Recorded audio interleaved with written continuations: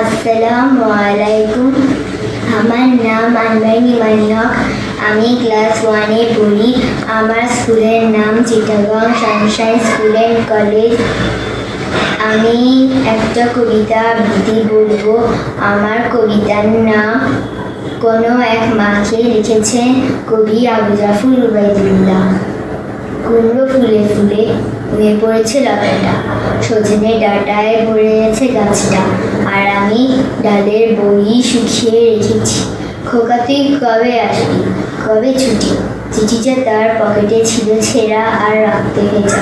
মা গোরা বলে, সবার কথা কেড়ে নেবে। তোমার খুলে শুয়ে গল্প শুনতে দেবে না। বলো মা, তাই কি হয়? তাই তো আমার দেরি হচ্ছে। তোমার জন্য কথার ঝুলি নিয়ে তবেই না বাড়ি ফিরে লক্ষ্মী রাগ করো না আর করে।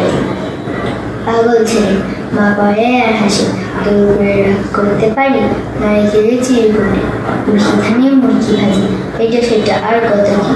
তার খোকা বাড়ি ফিরবে, ক্লান্ত খোকা। কুমড়ো ফুল শুকিয়ে গেছে। ঝরে পড়েছে ডাটা।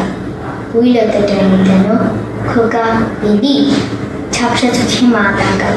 উঠানেই উঠানে। যেখানে খোকার সব শুকুনিরা দাবি ইচ্ছে করে।